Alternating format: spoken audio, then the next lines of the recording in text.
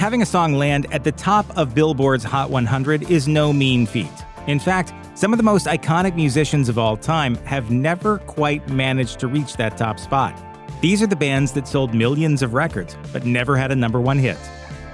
From the moment they made their presence known with the release of 1983's Kill 'Em All, Metallica have generally been regarded as the world's premier heavy metal band. Over the next two decades, the California foursome won millions of devoted fans with their dark, noisy, and complex sound. Metallica made black t shirt wearing headbangers out of people all over the world with pitch black anthems about death, darkness, and despair. About 63 million Metallica albums changed hands in the United States alone, and none more so than their self titled 1991 record, nicknamed the Black Album, which has been certified 16 times platinum. Metallica have topped Billboard's mainstream rock airplay chart 10 times, including with the much derided track Until It Sleeps. A significant departure from Metallica's sound, Until It Sleeps felt softer and more like alternative rock than hard rock or heavy metal. Despite being very much despised among Metallica fans, however, the song was clearly their most accessible, bringing them their highest entry into the Billboard Hot 100 at number 10. There are few artists, past or present, who are spoken of with the respect and acclaim reserved for Robert Zimmerman, aka Bob Dylan, the reluctant voice of his generation. Dylan emerged from the early 1960s folk scene to become a singer songwriter who idiosyncratically warbled and mumbled his way through a number of gripping and deeply meaningful pieces of music. Do you think of yourself primarily as a singer or as a poet? Oh, I think of myself more as a song and dance man, you know. Dylan is also more or less infallible to music critics. A number of his albums, for example, rank high among Rolling Stone's best of all time. Dylan's lyrics are held in such high regard, in fact, that in 2016, he won the Nobel Prize for Literature. Dylan has sold 36 million albums in the US alone, but he's had very few hit singles. His songs reached the Billboard Top 10 just four times, with Like a Rolling Stone and Rainy Day Women number 12 and 35, both peaking at number 2 in the mid 60s. The only time Bob Dylan hit number 1 on any chart came in 2020, when his 17 minute musical meditation on the assassination of JFK, titled Murder Most Foul, scaled the extremely niche rock digital song sales chart. Surprisingly enough, the dominant recording artist of the 1990s wasn't a rock group or pop star, it was country music's Garth Brooks. By the end of the decade, Brooks had sold an astounding 95 million albums, and he took 34 singles in a row to the top 30 of Billboard's Hot Country Songs chart. Among those, a staggering 19 went to number one. So, why is Garth Brooks on this list? Well, because he once released an album under a different name. In 1999, Brooks released In the Life of Chris Gaines, an elaborate concept album and faux greatest hits compilation purporting to be the work of a soft rock superstar named Chris Gaines. The songs were more adult contemporary than country, and Brooks appeared on the LP cover with a hipster haircut and goatee. Sadly, the whole Chris Gaines project was widely perceived as a failure. In the Life of Chris Gaines was the worst selling record of Brooks' career to that point, and a planned Gaines movie was even scrapped as a result. But if the notion of Chris Gaines was to allow Brooks to cross over from country to the mainstream, by that criteria, it succeeded. Lost in You, credited to Garth Brooks as Chris Gaines, went to number 5 on the Billboard Hot 100, the only time the alter ego would ever break the top 40. As far as bands go, only the Beatles and Eagles ever sold more albums in the United States than Led Zeppelin, and 111.5 million isn't too shabby for third place either. Seven studio LPs worth of Zep music topped Billboard's album chart, and five of them rank among the 100 best selling albums of all time in the United States. With 23 million copies, the top seller of those LPs is the band's fourth album, an untitled 1971 collection commonly referred to as Led Zeppelin 4. Despite giving the world some of the best known songs in rock and roll history, Led Zeppelin actually enjoyed middling success on the singles chart. The band made it to the top 20 of the Billboard Hot 100 just four times and into the top 5 only once, with Whole Lotta Love peaking at number 4 in January 1970. That was an early success, but soon after, Led Zeppelin switched focus to marketing their live shows and album sales. As a result, they rarely released commercial singles, forcing fans to buy the whole LP if they wanted to hear a song they liked. Bruce Springsteen is a straight up rock legend, with or without his loyal E Street Band. In a career full of huge albums and even bigger hit singles, however, nothing was quite so impressive as his 1984 studio LP, Born in the USA. Springsteen released seven singles from that record, and all of them reached the top 10 of Billboard's pop chart, tying a record with Michael Jackson's Thriller. It was, uh, it was good. it was good. But none of them hit number one. The very first of the bunch, Dancing in the Dark, charted the highest, peaking at number two. A couple of singles from his Born in the USA follow up, Tunnel of Love, also made the top 10, as did his Oscar winning Streets of Philadelphia from the Philadelphia soundtrack. But the boss would never again approach such lofty chart heights. Many legendary bands have replaced their lead singer for whatever reason. Van Halen and Black Sabbath, for example. ACDC did too, albeit due to more tragic circumstances. After the group's 33 year old singer, Bon Scott, died in February 1980. The rest of ACDC opted to continue on, however, and with newly hired singer Brian Johnson in the lineup, released Back in Black just six months later.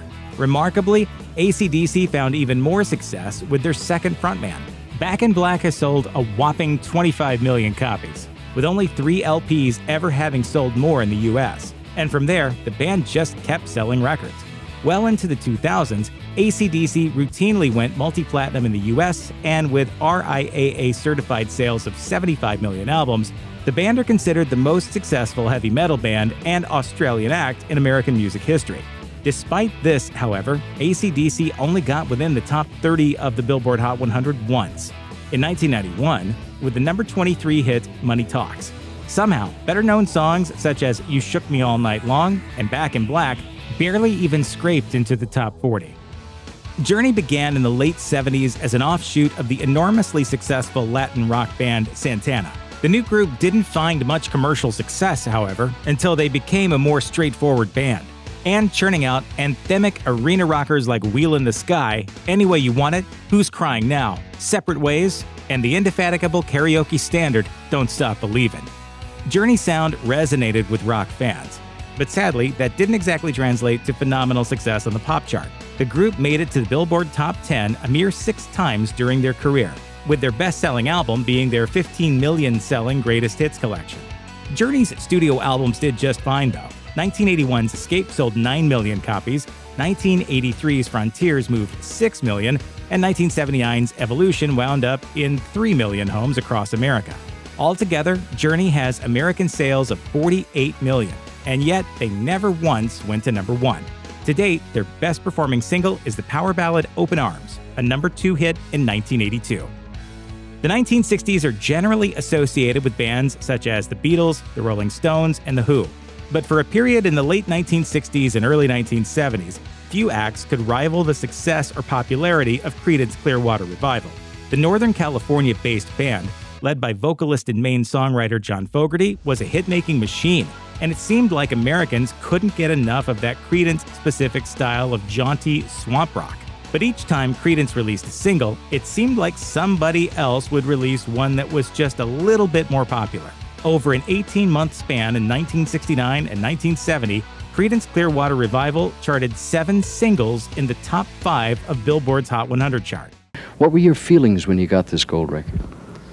Well, after waiting a long time, I, wow, it's hard to describe. Just elation, you know. And yet, not a one of them reached number one. Proud Mary, Bad Moon Rising, Green River, Travelin' Band, and Looking Out My Back Door came ever so close, all peaking at number two. Today, Creedence Clearwater Revival still holds a dubious Billboard record, as no act has ever scored more number two hits without also topping the chart. Before it was known as indie rock or alternative rock, the moody, less aggressive brand of rock favored by many young people was called college rock. At the forefront of the college rock movement were REM, a four piece out of Athens, Georgia, led by singer Michael Stipe. The band never once compromised their integrity or sound, yet still sold 85 million albums over their three decade lifespan. For much of the 80s, REM were a cult favorite until the mainstream finally caught up. In 1987, the band hit the top 10 of the Billboard singles chart for the first time with the snide and vicious anti love song The One I Love, a number 9 hit, and then got a bit higher with the undeniably catchy Stand in 1989. That laid the groundwork for REM to break through in the early 90s. In 1991, the band landed their highest showing to date or since when the first single from Out of Time, the haunting Losing My Religion, peaked at number 4.